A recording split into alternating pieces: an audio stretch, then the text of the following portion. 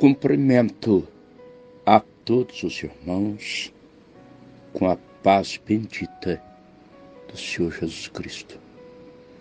Farei a leitura no livro de Neemias, capítulo 2, versículos 19 e 20. O que ouvindo Sambalate, o Uronita, e Tobias, o servo Amonita, e Gesem, o arábio, zombaram de nós e desprezaram-nos, e disseram: Que é isso que fazeis? Quereis rebelar-vos contra o rei? Então lhes respondi e disse: O Deus dos céus é o que nos fará prosperar, e nós, seus servos, nos levantaremos e edificaremos, mas vós não tendes parte, nem justiça, nem memória em Jerusalém.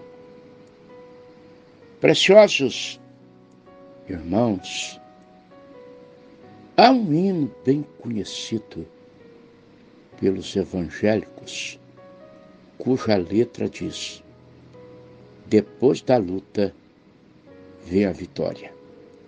Aliás, esse tema é comum no cancioneiro protestante. Muitos compositores sacros captaram essa noção e a transpuseram em inspiradas letras e sublimes melodias. Talvez nem todos esses hinos retratem a verdade por inteiro, mas, pelo menos em uma parte dela, estão absolutamente corretos. Mas entre o desejo e o cumprimento da promessa, haverá sempre dificuldades e empecilhos, verdadeiras pedras de tropeço a serem removidas. Isso é bíblico. E o próprio Senhor Jesus é o exemplo maior quando lemos as páginas sagradas, descobrimos que, desde o princípio, Satanás esteve acompanhando a trajetória do Filho de Deus, procurando frustrar a promessa que está registrada em Gênesis capítulo 3, versículo 15 a semente da mulher que feriria a cabeça da serpente. Em Mateus, capítulo 2, ele, Satanás, procurou usar o rei Herodes no episódio conhecido como a matança dos inocentes em uma ação diabólica para tentar eliminar o menino Jesus.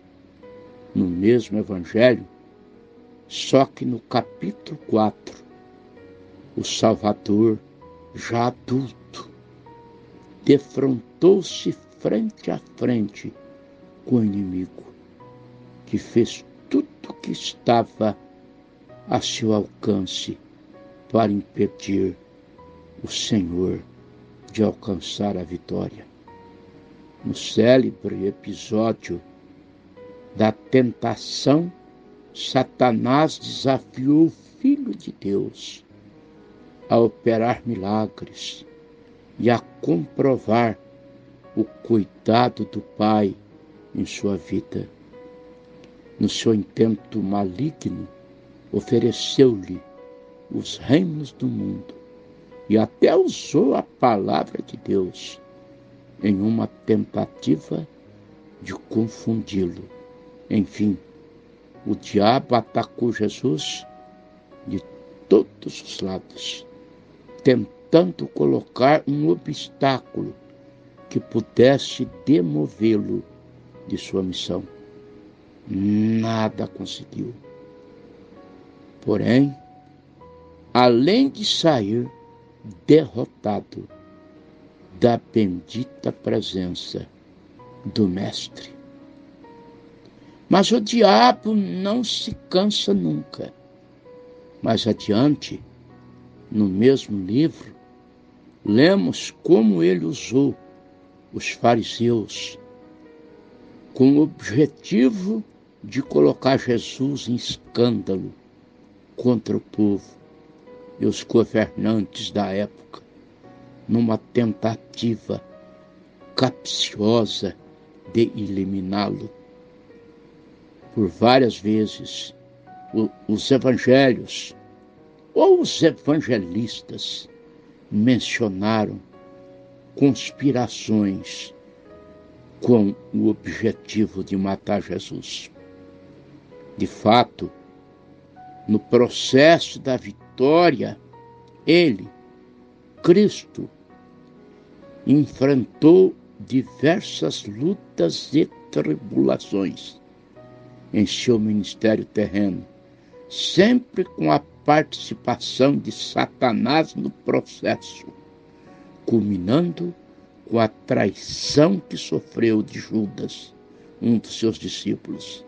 As Escrituras dizem: entrou, porém, Satanás em Judas, que tinha por sobrenome Iscariotes, o qual era do número dos doze. Lucas capítulo 22, versículo 3. O resto da trajetória é bem conhecido. Com as informações fornecidas por Judas, Jesus foi preso e pendurado no madeiro. Mas quando o diabo imaginou que aquele seria o fim do plano da salvação do homem, sofreu uma terrível derrota. Aconteceu justamente o contrário. A ressurreição foi a mais retumbante vitória que Cristo alcançou por toda a humanidade, por meio da qual podemos ser salvos. Disse o Senhor: Fui morto, mas eis aqui estou vivo para todo sempre. Amém. E tenho as chaves da morte do inferno. Apocalipse capítulo 1, versículo 18. Tenha um bom dia sob as mãos potentes de Deus. Ó, oh, meus irmãos, minhas irmãs, eu quero continuar com esse assunto.